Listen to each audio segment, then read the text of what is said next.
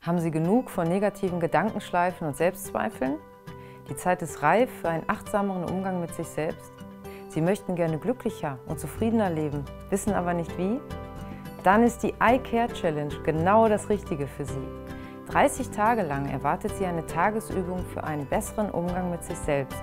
Und zwar im Hinblick auf Dankbarkeit, Selbststärkung, Vorstellungs- und Anziehungskraft.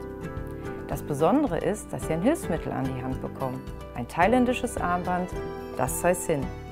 Bei jedem Blick darauf werden Sie so an die Übung erinnert, egal was Sie machen oder wo Sie gerade sind. Los geht's!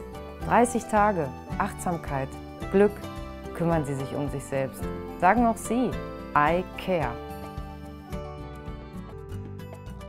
Gehen Sie doch heute mal an Ihre ganz alltäglichen Routinehandlungen mit Achtsamkeit heran. Wie schmeckt der Apfel? Wie die Tasse Kaffee zwischendurch?